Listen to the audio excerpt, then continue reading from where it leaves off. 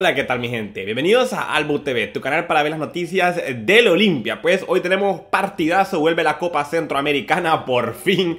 Sabemos que la semana pasada no jugó el Olimpia ya que tenía, bueno, sabemos que son cinco equipos, cuatro jornadas, cada equipo del grupo pues tiene una semana en la que no juega, nos tocó la semana pasada.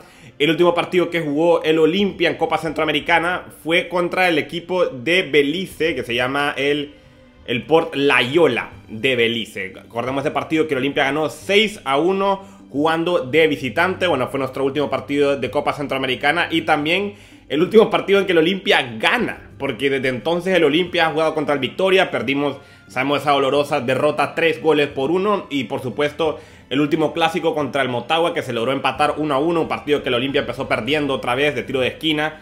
Volver a decirlo, cuántos goles de tiro de esquina nos ha metido el Motagua últimamente.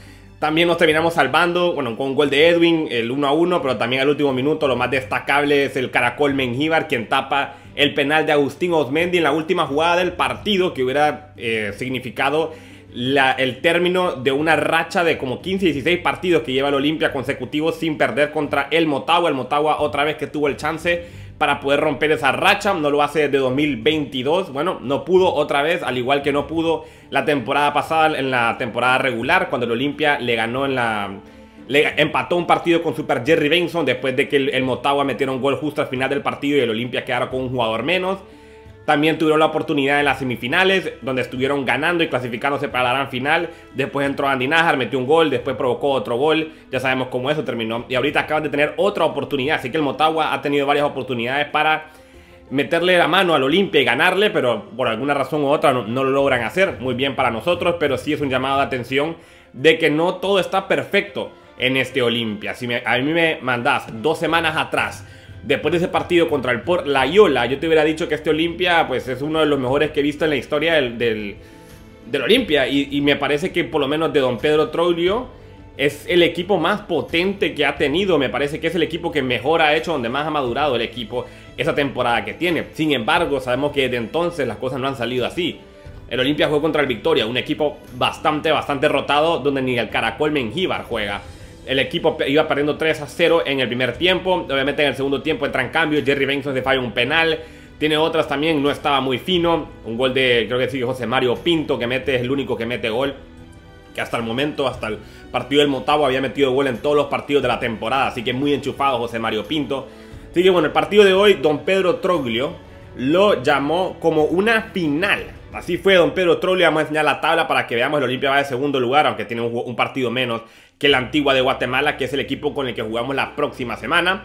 Que le, bueno, lo bueno de eso es que jugamos en, contra Antigua en, el estadio Chelatucles, así que cerraremos en casa en ese sentido. Hoy el equipo hondureño, el Olimpia, juega contra el Águila del Salvador y jugaremos otra vez en el estadio Cuscatlán, estadio donde jugamos la temporada anterior.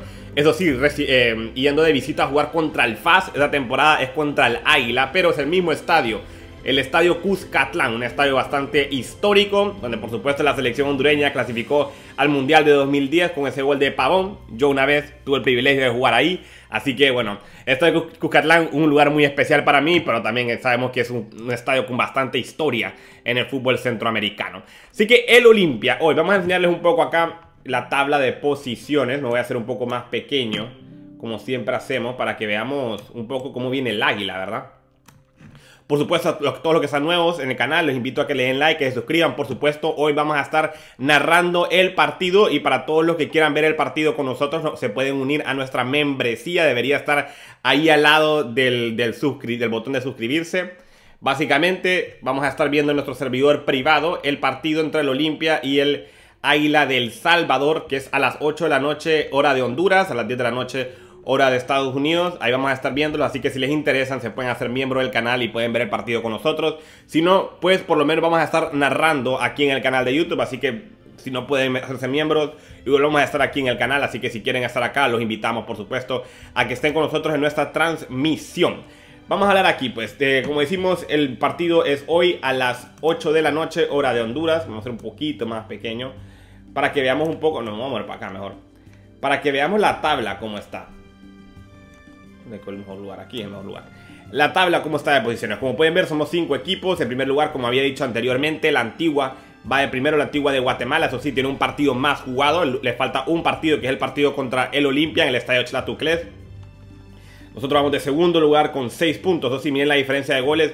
El Olimpia con un partido menos le saca 4 goles de diferencia a la Antigua de Guatemala. El Águila, con el que jugamos hoy, va de tercer lugar. Ha jugado dos partidos, al igual que el Olimpia. Le hace falta los otros dos, el de hoy y el de la última jornada. Me imagino el Por Layola ya jugó todos sus partidos. Tiene 4 puntos de. Por eso es como una final. Porque si el Águila nos gana hoy, se nos complica bastante las cosas. Porque ya no, no dependemos de nosotros mismos para la última jornada. Eso sí, si empatamos el partido, el Olimpia gana, ya virtualmente el Olimpia está clasificado. Es más, si hacemos la matemática, si el Olimpia empata haría 7 puntos y el Águila haría 5 puntos. Aún matemáticamente podría pasar que el, Águila, porque el Olimpia le toca un partido complicado contra el Antigua. Así que el Olimpia, si hoy quiere realmente clasificarse, tiene que ganar este partido contra el Águila del Salvador. Y pero Trolio, como lo dijo anteriormente, es una final para el Olimpia de fútbol centroamericano esto, ahorita mismo. El Olimpia gana, está clasificado a la siguiente ronda. Se pierde y se complican las cosas completamente porque el Olimpia pasaría a tercer lugar con los mismos partidos jugados que el, el Antigua de Guatemala y el Águila. Así que el Olimpia es vital de que gane el partido de hoy, eh, por lo menos no lo empate, perdón, o empate, por lo menos no perderlo. Porque realmente el Águila, si vemos, es el equipo realmente que está atrás del Olimpia, el Independiente de Panamá, que pensamos que iba a ser el equipo más potente realmente porque llegó a la semifinal la temporada anterior, solo tiene 3 puntos. Y ya tiene 3 partidos jugados. Es decir, que el Independiente de Panamá virtualmente está eliminado ya. Y el Por Layola ni digamos, tiene 0 puntos y está en menos 13. Así que realmente el rival del Olimpia es el Águila. Y es el rival directo con el que jugamos hoy. Y el Antigua de Guatemala es el otro rival con el que jugamos la próxima semana. Así que lo más bonito se viene ahorita mismo. El Olimpia, como dijimos, ya le pudo lograr ganar al Port Layola y el Independiente de Panamá, pero el Port Layola, como pueden ver claramente, es el equipo más débil de este grupo. Veamos un poco aquí el, Águila del Salvador para entender. Han habido partidos de aquí, entre ellos, no, vamos a ver. El Águila, los últimos partidos, viene, de ganarle al FAS tres goles por uno. El, el FAS es muy potente en, en, El Salvador, por supuesto. Después le ganó 5 goles a 1 al Port Layola. Nosotros le ganamos 6 a 1 de visita empató contra la antigua de Matemala, que es el que estamos viendo que es el equipo más, pues el que más difícil va a ser, pareciera. Empató contra el Águila y si hacemos un poco para abajo, tenemos más de la, de la Liga Salvadoreña, venía a empatar el principio del mes contra el Isidro Metapán. Había ganado contra el fuerte San Francisco y goleó 3 a 0 al Dragón. Y vamos a ver si tenemos algún partido más de Copas. No, no, aquí ya no hay más de Copa Centroamericana. Solo, ah, que solo hemos jugado dos partidos de Copa Centroamericana, ¿verdad? El empate entre el, Antigua y después el partido que golearon 5 goles por uno al por Layola. Por eso que tienen 4 puntos. Así que el Águila, como vemos, es un equipo que realmente es potente. E, es potente. Gana en su, en su liga doméstica. Por ejemplo, si, usted, si nos ponemos a ver los partidos del Olimpia. Y ellos van a pensar que, que los partidos del Olimpia, pues analizándolo también, podemos ver que empatamos, perdimos ganamos 6 goles por 1, pero veníamos de empatar también contra el Maratón, así que nuestra, eh, nuestra forma ahorita mismo no es la mejor. Sin embargo, obviamente el Olimpia es el Olimpia y yo obviamente lo voy a dar como el favorito para este partido. Va a ser un partido complicado, pero yo creo que el Olimpia tiene la capacidad con todos los jugadores que tiene para ganar este partido sin, bueno, con dificultad sí, pero que se puede ganar este partido, se puede ganar y se tiene que ganar. Y como les digo, como mínimo, no se puede perder en este partido. Así que dando un poco un pronóstico de cómo creo, creo yo que va a empezar Don Pedro Troglio. Yo creo que va a empezar obviamente con Edric Mengíbar en la portería. Yo creo que se va a ir con su 11 de lujo. Andy Najar de lateral derecho, lateral izquierdo. Me parece que vamos a volver a ver a José Julián Martínez, ya que regresó. Me parece que lo vamos a ver. La pareja centrales, me imagino yo que entrará Jonathan Paz con José García. No creo que Oliver Benítez le den chance, por lo menos no de titular, considerando que es recién fichado. Y Juan Pablo Montes ni digamos, ¿verdad? El Mango Sánchez y, y el Mango, perdón, el Mango Sánchez y Gabriel Araujo no han estado tan finos esta temporada, así que me parece que esa es la defensa que veremos. Después en el medio, aquí es donde me entran un poco más las dudas. ¿Quién realmente será el sacrificado? Entraremos con dos delanteros, todo parece indicar que sí, que sí, pero en el medio entonces eso deja un poco... Porque la situación es, tenemos cinco jugadores con mucha capacidad para jugar cuatro posiciones. Caso de, obviamente, los cuatro fantásticos más Michael Chirinos. Cinco jugadores para cuatro puestos que son los que hay realmente en el medio campo que usa don Pedro Troglio. Me parece que el, sacrificado hoy podría ser Jorge Álvarez. Lastimosamente, Edwin Rodríguez me parece que está eh, jugando bastante bien. Carlito Pineda es eh, irreemplazable en este esquema de Don Pedro Troglio porque es un jugador bastante único en el perfil que tiene. no hay un reemplazo para él. Me parece que Carlito Pineda tiene que entrar y me parece que veremos en las bandas a Pinto y a Michael Chirino. Es, mi intuición, creo que el sacrificado será Jorge Álvarez, puede que esté mal o no, pero eso es lo que yo creo. Y después arriba, bueno, no se sabe lo de, con Justin Arboleda cuál es la situación con él. Me parece que el Toro Benguche arrancará este partido y será junto a, Ignacio Colombini o junto a Super Jerry Benson. Yo creo que por jerarquía será Jerry Benson.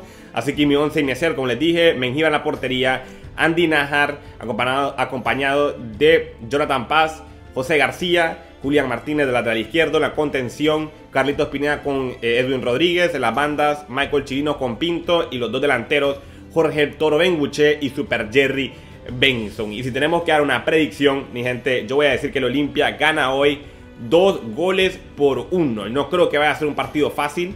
Yo creo que va a ser un partido complicado, pero creo que igual el equipo, el equipo Albo hoy saldrá vencedor y estaremos celebrando posiblemente que el Olimpia ya clasifique a la siguiente ronda y poder estar más cerca, un poco más cerca de, clasificar a la Conca Champions, ¿verdad? Así que sí, mi gente, muchísimas gracias por sintonizarnos aquí en el canal. Como siempre, los esperamos más tarde en el directo que vamos a estar narrando el partido. Y por supuesto, los invitamos si quieren hacerse miembros del canal y pueden, bueno, ver el partido con nosotros en nuestro servidor.